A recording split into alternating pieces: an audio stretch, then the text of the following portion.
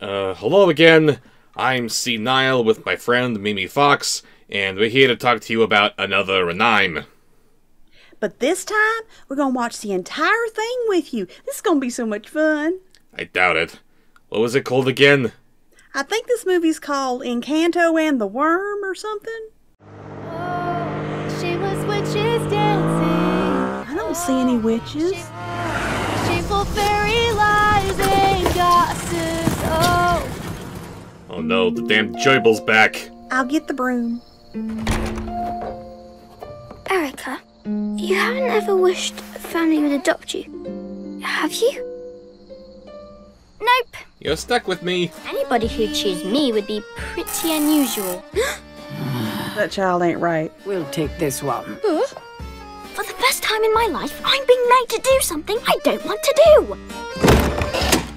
Now then, let's you and I get a few things straight. My name is Bella Yaga. I'm a witch. Great! Oh no, the 60s are back. I knew I couldn't duck them forever. You out. If you work really hard, I shan't do anything to hurt you. Eat her already! Oh, did I say that out loud? We're all saying it. It's okay. Pretty useless to me. The spell I believe you're looking for is somewhere towards the back. Hang on, you actually talk? Of course I do, just not very often. we just don't like you, you little turd. In this household, there's one rule that's crucial. You must on no account for any reason ever dare disturb the mandrake. Don't be rude. Don't disturb me. I'm here to say. Earwig? That's a name that means absolutely nothing to me. May be felt by a witch.